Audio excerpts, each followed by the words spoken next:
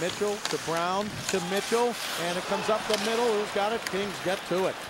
They had trouble in their own zone. Now it's picked up by Brown. Brown trying to make a move. He did.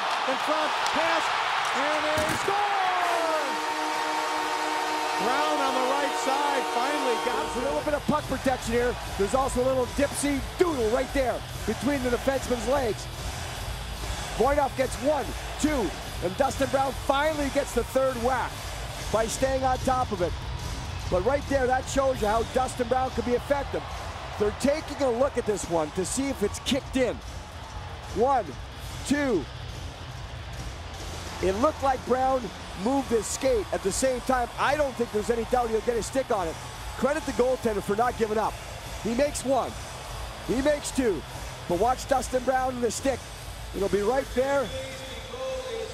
Whoa. Whoa. It's Voynov. If that puck does not hit the stick of Dustin Brown, this one would be disallowed. I believe there was a distinct kicking motion. Although that looks like Brown's, it's tough to see.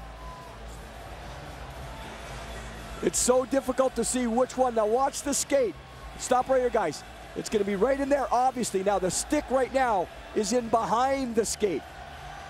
The skate goes forward. Then does there is there contact with a stick after that? That's the tough part. If there's no contact with Dustin Brown's stick after the contact of the skate, I would say they're going to have to take that one back because of the forward motion and kicking motion. When I saw it initially, I was thinking, you know, kick somehow, but where is the stick?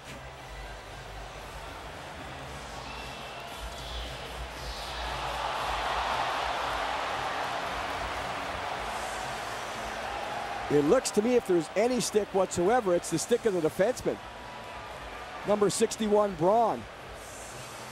Now, if it goes off a defenseman's stick after that, off the stick, and it doesn't look like it does, that is real tight. And now you can understand why they're taking some time in Toronto to take a look at this.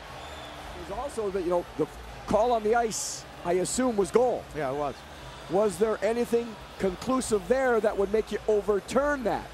The thing again, does Dustin Brown's stick go underneath, underneath the skate blade, underneath the blade, and at every time does it make contact there?